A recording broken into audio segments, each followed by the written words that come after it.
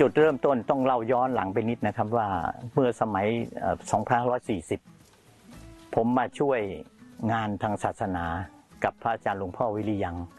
หรือปัจจุบันที่ท่านเป็นเอ่อเจ้าประคุณสมเด็จ ยานวชิรดมหลวงพ่อวิริยังศิรินทโลวัดธรรมมงคล ตั้งแต่นั้นมาเนี่ยก็ได้รับมอบหมายให้ดูแลพวกโครงการศาสนสถานต่างๆ ทั่วประเทศ และงานที่ทำอยู่ส่วนใหญ่ก็จะเป็นงานเราเรียกว่าจิตอาสาหรือเป็นคนที่มีจิตสาธารณะมาแต่ต้น งานออกแบบงานอะไรต่างๆ นี้ให้ฟรีหมดไม่เคยคิดค่าออกแบบ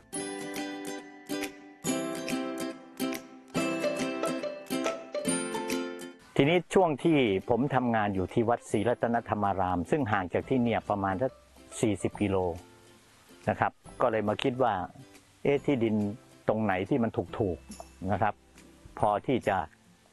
เอามาดัดแปลงทำเป็นสวนได้ ก็เลยมาเจอที่แปลงนี้อยู่แปลงหนึ่งก็เป็นที่ที่ไม่มีน้ำไม่มีไฟไม่มีอะไรหรอกครับ ก็มาเริ่มต้นทำจากตรงนั้น เพราะฉะนั้นผืนสวนที่เราเห็นต้นไม้เยอะๆเป็นหมื่นต้นเนี่ยจริง ๆ เดิมทีเป็นทุ่งนานะฮะเราเรียกว่าโครงการที่พลิกฟื้นผืนนา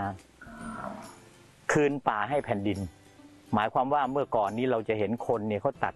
ถางไม้ทำลายป่า เอามาทำนาทำไร่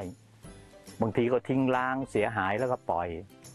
ป่าเราก็หายไปหายไปหายไป แต่วันเนี้ยเราลองดูซิว่าเราเอานากลับคืนทำป่าคืนให้แผ่นดิน มันก็ทำได้ ที่นี่ใช้เวลาเพียง 5 ปี เราสามารถพลิกฟื้นผืนนากลับให้เป็นป่าร่มรื่นนะฮะที่สำคัญที่สุดก็คือ ใช้หลักการของเกษตรทฤษฎีใหม่ เอาแค่พอเหมาะ มีอย่างละนิดอย่างละหน่อย แต่สามารถ กินได้ทุกอย่างคือมองหันไปซ้ายไปขวาอะไรก็กินได้หมดทุกอย่าง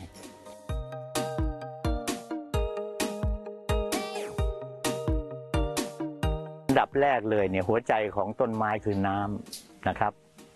ตามที่พระองค์ท่านมีดำริก็คือว่า แหล่งน้ำธรรมชาติถ้าเรามองแล้วมันไม่มีหรือมีน้อยเนี่ยเราจะต้องสร้างแหล่งน้ำต้นทุนของเราเอง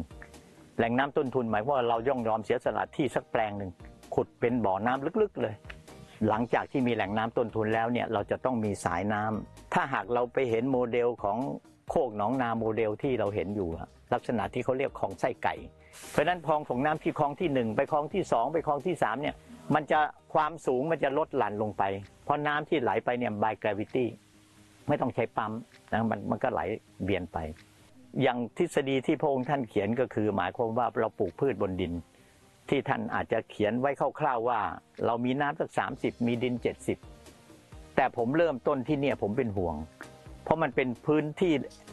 ดอนมากแล้วก็แรงมากนะครับ ไม่มีต้นไม้สักต้นเดียวเลยต้นมาทำผมทำห้าสิบห้าสิบนะฮะเริ่มต้นจากห้าสิบห้าสิบ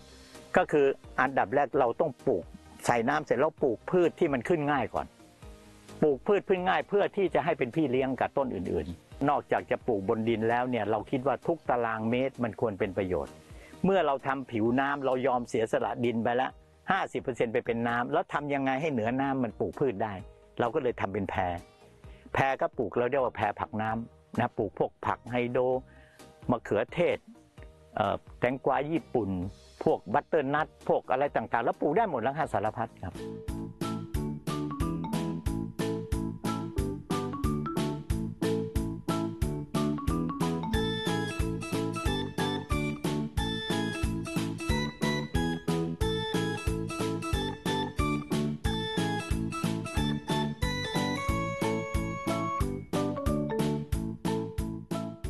ผมว่า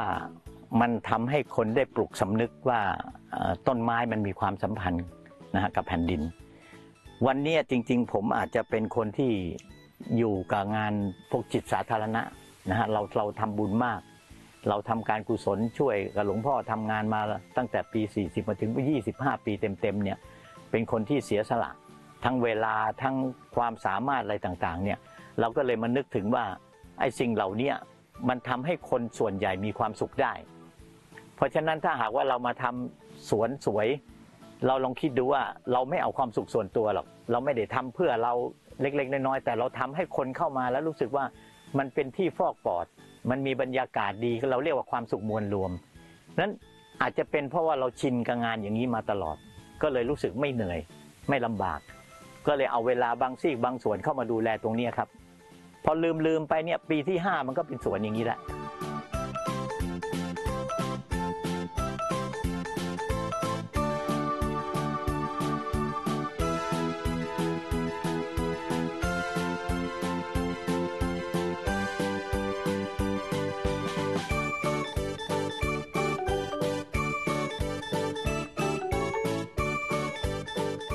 ที่ที่ผมบอกว่าเราปลูกพืชกินได้เนี่ยพระองค์ท่านบอกว่าไอ้เกษตรต่างๆ อะไรก็แล้วแต่เนี่ย ถ้าคนทำเกษตรแล้วคิดรวยเนี่ยคิดผิดนะฮะแต่ไม่ได้หมายว่าห้ามไม่ให้ทำนะฮะท่านให้ทำแต่ว่าเราต้องคิดว่าเกษตรเนี่ยเพื่อความอยู่รอด หมายความว่าท้องเราอิ่ม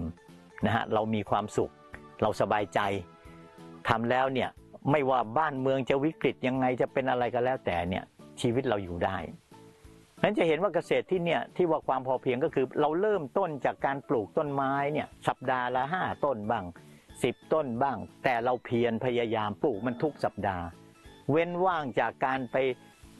ไปเล่นกอล์ฟกันเนี่ยนะแล้วเราก็เอาสตังส่วนนั้นนะมาซื้อต้นไม้มาปลูก ปลูกไปทุกอาทิตย์ทุกอาทิตย์ทุกอาทิตย์หันกลับมาดูข้างหลังอีกทีนึงโอ้โหมันเยอะแล้วเหมือนกันนะนะมันก็สนุกครับก็ปลูกไปปลูกไปปลูกไปเรื่อยๆ อันเนี้ยแหละครับมันเป็นมันเป็นเรื่องก็ทำแบบพอเพียงคนถึงถึงถามว่าลงทุนไปเท่าไหร่ผมผมจำไม่ได้หรอกครับ เพราะว่าเราไม่เคยจดบันทึกเราไม่ได้ทำเพื่อประโยชน์ทางธุรกิจ เราจึงไม่ได้มองว่าเราลงทุนเท่าไหร่ แล้วเราจะต้องถึงจุดคุ้มทุนปีไหนนะแต่ละปีเราต้องได้กำไรเท่าไหร่ เราไม่ได้คิดเรื่องพวกนี้ เราทำเพื่อความสุขมวลรวม เราคิดอย่างนั้น